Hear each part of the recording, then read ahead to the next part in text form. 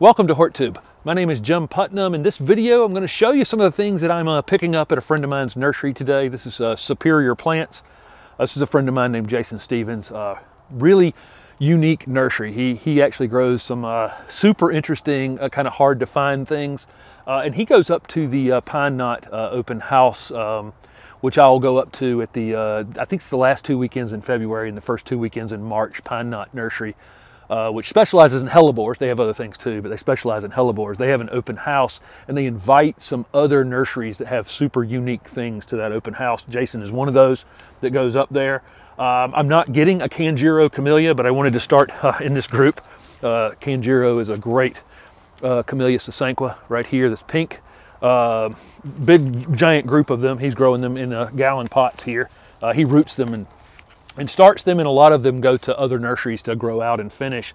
Some go directly to garden centers, and other he, other things he does are these uh, kind of specialty sales events. So I'm going to show you a few things I am picking up today, and then I'll expand on this and show you some videos individually of the plants when I uh, use them in my landscape. So again, I'll talk about individual uh, varieties when I'm uh, putting them in the ground at the house. I'm getting this variety of sweet box right here that, uh, wow, it's super fragrant as I'm standing uh, over the top of it. And this is a very early flowering variety. I'm shooting this like the third week in January and it's in bloom house, in bloom here. It is in a house here, so it's a little ahead of where it would have been outside, but still, still very, very early. He grows several different uh, aspidistra or uh, cast iron plants. Um, this one right here, stripes. I have this one uh, at the house with that center, that center stripe in it. Um, just lots and lots of great varieties of these. Today though, I'm carrying out uh, several Daphne. And so there's a, a, green foliage variety here, and then a variegated one uh, right here. This is uh, actually Aureomarginata. I grew both of these at my nursery, just a plain green variety, and then just kind of a plain Jane uh, uh, variegated one with it just the outside edge. It's absolutely beautiful. I don't want to take away from how beautiful it is, but then uh, this one over here uh, is another one I want to that I, I, really have wanted for a long time. This one's called Wild Winter.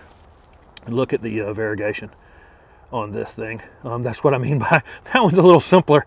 Um, Wild Winter is really, really beautiful, but I'll talk more about it again when I'm putting them in the ground. There's some interesting things uh, in this house. Uh, this Nandina is called San Gabriel. It's a super fine textured Nandina. I'm grabbing one of these.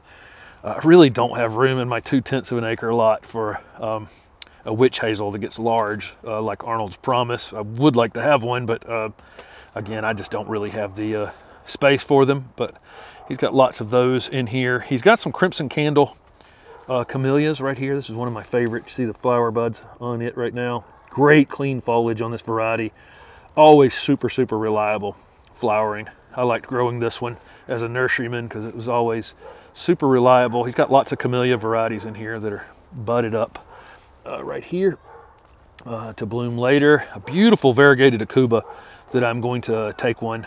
Uh, I'm going to take one of these as well. Here's some Edgeworthia that he's uh, rooting and uh, I'll show you one that I'm, I'm grabbing one of these as well. I'll show it to you in the next house. Uh, just again, a super interesting collection of uh, kind of specialty specialty plants here. Uh, this uh, this is that aucuba. Again, I'm carrying one of these uh, carrying one of these out. There's a camellia in this house called April Remembered. Really nice group.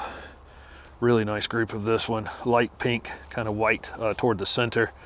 Uh, it looks like it's going to be pinker than it is um, before it opens. You see, it's kind of a darker pink bud, and then the middle of the flower ends up opening white. Even as it starts to open, it looks like it's going to be very, very pink. And it's just kind of a very light pink on the inside. Beautiful flower.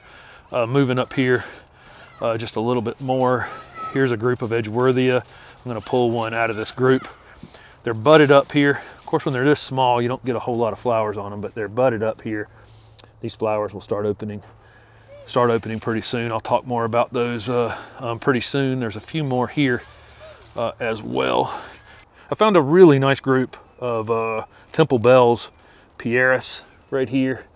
Look at all the flower buds on these. It's a really nice group of uh, one gallons here. I'm sure destined for uh, another nursery to grow them out uh, larger. That's not an easy plant to to start and grow out that nicely. this is my favorite Illicium right here. This is a Woodlands Ruby uh, Illicium.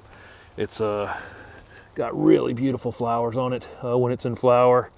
Just uh, really one of my favorites. I got several Illicium in the yard. I don't know if I have room for another one, but uh, this one is actually my favorite one. He grows an absolute ton of Chindo viburnum, roots them and uh, grows them out in these trade gallon pots.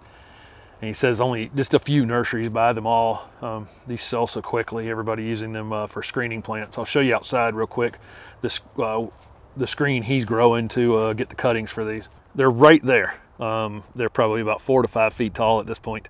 He does some grafting as well, and these are uh, grafted um, Tokyo Tower uh, retusus or Chinese fringe tree that I have in my yard. It's kind of that upright, narrow growing uh, Chinese fringe tree. This one is super, super interesting to me. These are um, uh, or flying dragon um, right here, or contorted uh, that um, he's growing his standards. He has spent a lot of time getting these to single trunk pieces and getting them grown up this tall and then cut off at the top right here. So then they'll um, become a shrub up at the top. And he actually roots these for years. I, uh, um, I, I, grew flying dragon for a long time and I, I did them from seed. And, uh, but he actually roots these. I'll show them to you in the next house. So you can see just how wicked uh, this plant actually is. And I used to tell people when I sold them at the farmer's market, you put them under your daughter's windows uh, was the best use for uh, flying dragon, uh, hardy orange. But uh, he does these from, these are done from rooted cuttings. And I, when I tried them from cuttings, I just get a few spindly little roots on them. It took forever. He's, he somehow perfected it here. When I do them from seed, um, some of them come out and they weren't contorted and I'd have to cull through them, the ones I did from seed. But by doing them from rooted cuttings, he gets clones um, and they're everyone going to be the same. So, um, but really interesting, really super, super interesting plant.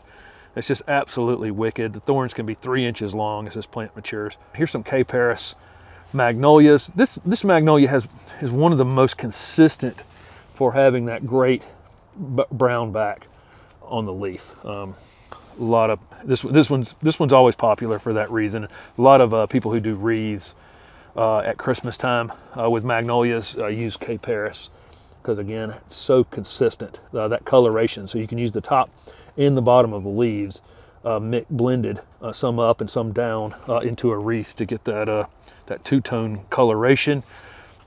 Uh, let's head on up here. There's a few camellias in this house. This is Autumn Spirit uh, right here on the right, are hardy into zone six.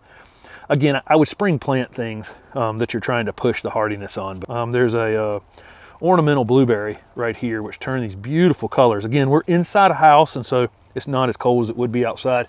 But outside, these turn this really nice uh, get this purple hue on them uh, in the wintertime, really soft textured, soft textured plants, but that's, a, that's an ornamental blueberry right there. And like I say, I think I'll wrap this video up at this point and uh, I'll see you uh, back at the house in some other videos and show you these things going in the ground. Thanks for watching.